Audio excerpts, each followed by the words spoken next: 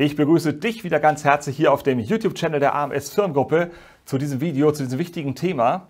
Es geht nämlich um die sogenannte Bauabzugssteuer, wie sie umgangssprachlich genannt wird. In der Amtssprache wird sie als Steuerabzug bei Bauleistungen bezeichnet. Die Bauabzugssteuer verpflichtet den Auftraggeber, also den Kunden, vor dem in Rechnung gestellten Betrag für Bauleistungen grundsätzlich 15 Prozent der Bruttorechnungssumme, also inklusive Umsatzsteuer, nicht an den Auftragnehmer, also den Leistungserbringer, die Handwerksfirma zum Beispiel, auszuzahlen, sondern stattdessen ans Finanzamt abzuführen. Die Regelungen finden sich, wer da Interesse hat, das nachzulesen, unter anderem in 48 des Einkommensteuergesetzes. Die Bauabzugssteuer betrifft, wie gesagt, Bauleistungen, also grob gesagt die Herstellung, Instandsetzung, Änderung oder auch die Beseitigung von Gebäuden. Was fällt nicht darunter? Zum Beispiel reine Materiallieferungen, ohne dass das Material vom Liefernden weiterverarbeitet wird, wenn du dir also Material vom Baumarkt an die Baustelle liefern lässt. Beim Handwerker, der die Materialien mitbringt und dann eben einbaut oder verarbeitet, müssen diese Materialkosten mit einbezogen werden. Auch Entsorgungskosten vom Baumaterial, Gerüstbau, Mietkosten von Baugeräten oder die Anlage von Gartenbepflanzungen und die Gartenpflege zählen nicht zu den Bauleistungen. Zur Unterscheidung, was eine Bauleistung ist und was nicht, gibt es natürlich noch unzählige weitere genaue Kriterien und Definitionen. Aber ich möchte dich hier nicht mit zu viel Details langweilen, sondern dich grundsätzlich für das Thema sensibilisieren und nachher auch eine praktikable Lösung zeigen, sodass du Probleme mit dem Finanzamt von vornherein vermeidest. Also bleib unbedingt bis zum Ende dieses Videos dabei und wie immer darf auch ein kurzer Disclaimer nicht fehlen. Wir leisten hier natürlich keine Steuerberatung, sondern berichten aus unserer Erfahrung, denn wir haben auch schon Bauabzugssteuer abführen müssen. Der Gesetzgeber hat bezüglich der Höhe der Bauleistungen eine Freigrenze eingezogen.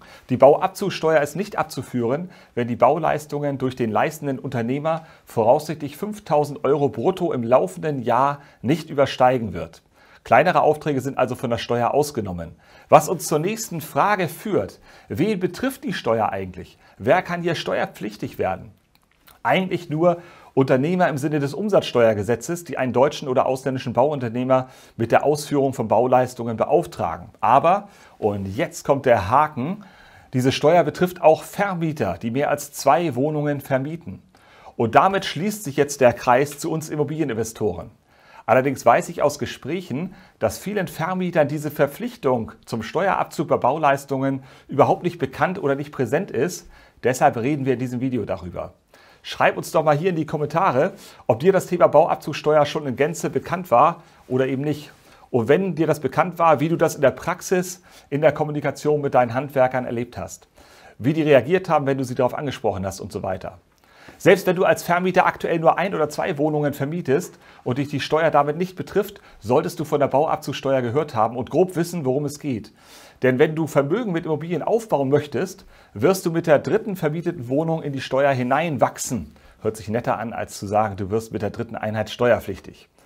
Neben der vorhin angesprochenen Freigrenze von 5000 Euro hat der Gesetzgeber für private Vermieter, die wirklich ausschließlich Einkünfte aus Vermietung und Verpachtung erzielen, netterweise eine höhere Bagatellgrenze eingeführt. Private Vermieter wie wir müssen die Steuer erst ab einer Bauleistung von 15.000 Euro abführen, dann aber natürlich für den gesamten Betrag. Nochmal kurz zusammengefasst, die Steuerpflicht betrifft die Vermieter, ab der dritten vermieteten Einheit bei Bauleistungen über 15.000 Euro an einen Unternehmer. Viele Steuern sollen ja eine Lenkungswirkung entfalten und verfolgen eine bestimmte Absicht. Welchen Sinn, welchen Hintergrund hat also diese Steuer hier? Der Gesetzgeber wollte mit der Steuer gegen illegale Beschäftigung am Bau vorgehen bzw. diese vermeiden und seinen Steueranspruch sicherstellen.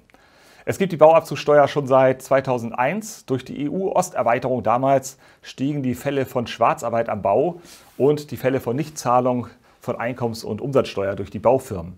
Die Bauabzugssteuer sollte helfen, das einzudämmen. Ob diese Ziele durch diese weitere bürokratische Hürde erreicht werden durch dieses Konstrukt oder nicht, lasse ich mal offen. Im Prinzip handelt es sich, wie dargestellt, um eine Steuervorauszahlung durch den Leistungsempfänger, also uns als Vermieter, für den leistenden Unternehmer, also den Handwerker zum Beispiel. Was kannst du nun tun? Welche praktikable Lösung gibt es, um diese Steuer und der damit verbundenen Bürokratie und Diskussion mit Handwerkern zu, ja, zu umgehen oder die Steuer zu vermeiden. Die Bauabzugsteuer muss nicht abgeführt werden, wenn der beauftragte und leistende Unternehmer, also der Handwerker in unserem Fall als Vermieter, eine sogenannte Freistellungsbescheinigung vorlegt. Diese Freistellungsbescheinigungen werden vom Finanzamt für einen bestimmten Zeitraum ausgestellt. Ein Unternehmer, der regelmäßig seinen steuerlichen Pflichten nachkommt und eben beim Finanzamt vernünftig angemeldet ist und vernünftige Vorauszahlungen leistet, bekommt von seinem Finanzamt auf Antrag eine solche Bescheinigung ausgestellt, die er dir dann vorlegen muss. Du solltest in jedem Fall genau prüfen, ob die vorgelegte Bescheinigung noch gültig ist dann solltest du die Bescheinigung gut aufbewahren, damit du diese auf Nachfrage und Prüfung des Finanzamtes eben vorlegen kannst. Am besten sowohl digital als auch in Papierform aufbewahren, denn ansonsten ist die Konsequenz, dass du strafrechtlich verfolgt wirst und wegen Steuerhinterziehung sogar angezeigt wirst. Das ist vielen Immobilieninvestoren nicht bekannt. Außerdem haftest du für 15 Prozent der Bruttoauftragssumme, die du ans Finanzamt hättest abführen müssen, wenn das Unternehmen, das für dich gearbeitet hat, Steuer nicht gezahlt hat und zum Beispiel wegen Insolvenz da nichts zu holen ist. Das ist dann doppelt ärgerlich. Also Anzeige wegen Steuerhinterziehung und erhebliche Zahlungen. In der aktuellen Phase mit der drohenden Insolvenzwelle durch Corona ist es auch wirklich ein Szenario, das ohne weiteres eintreten kann. Natürlich hast du zivilrechtliche Ansprüche an das Unternehmen beziehungsweise dann an den Insolvenzverwalter, aber wenn nichts zu holen ist, dann gehst du eben leer aus. Sehr verbreitet ist bei Finanzämtern und Prüfern auch die Ansicht, wo eine Sache gefunden wird, finden wir auch noch mehr. Es gab dann schon Fälle, wo die Finanzämter Listen mit allen beauftragten Handwerkern und die jeweiligen Freistellungsaufträge dazu verlangt haben. Das ist dann nicht spaßig, sondern sehr, sehr aufwendig für dich. Gerade wenn du größere Sanierungen durchgeführt hast. Deshalb die Infos und die Warnung hier im Video. Mittlerweile hat sich das bei den meisten Handwerkern herumgesprochen und meist werden die Freistellungsbescheinigungen automatisch mit der Rechnung mitgeschickt. Trotzdem solltest du die Steuer im Hinterkopf behalten und gerade bei kleineren Firmen oder ausländischen Firmen solltest du das Thema ansprechen. Mein Tipp, frage die von dir beauftragten Unternehmer bei größeren Aufträgen am besten relativ zeitnah nach Auftragsabschluss nach der Freistellungsbescheinigung. So vermeidest du Ärger und die Unternehmen können sich gegebenenfalls noch eine Bescheinigung besorgen, falls zum Beispiel die vorliegende zeitlich abgelaufen ist. Wie funktioniert nun die Meldung und die Zahlung ans Finanzamt konkret? Das kannst du relativ leicht beim Finanzamt oder deinem Steuerberater erfragen. Das möchte ich hier jetzt nicht zu detailliert erörtern. Es gibt dafür auf jeden Fall ein Formular, wie immer beim Finanzamt. Und du musst den einbehaltenen Betrag unter Nennung einiger Daten des Unternehmens, für das du abführst, bis zum 10. des Folgemonats zahlen. Wenn dir dieses kurze Video gefallen hat, dann gib uns doch gerne ein Like, einen Daumen hoch. Das freut uns und auch den YouTube-Algorithmus. Und leite das Video auch unbedingt an andere Investoren und Unternehmer weiter, weil das Thema wirklich unterschätzt wird. Vielleicht bist du auch zufällig auf dieses Video gestoßen, hast aber Interesse, zukünftig alle neuen Videos von uns bequem und ohne Suchen angezeigt zu bekommen. Dann lade ich dich ein, unseren Kanal jetzt hier zu abonnieren und vor allem die Benachrichtigungsfunktion, die Glocke zu aktivieren, damit dir jedes Video angezeigt wird. Schön, dass du bis hierher dran geblieben bist und vielleicht hast du gemerkt, dass wir hier ein älteres Video erneut hochgeladen haben. Das Thema ist aber nach wie vor relevant und viele nicht präsent. Ich wollte zur Bauabzugssteuer ein neues Video drehen und habe dann gemerkt, dass wir dazu schon einen guten Beitrag haben. Und genau wie bei diesem Thema gibt es auf unserem Kanal aus den letzten Jahren viele wertvolle und zeitlose Inhalte. Stöbere doch gern einmal durch.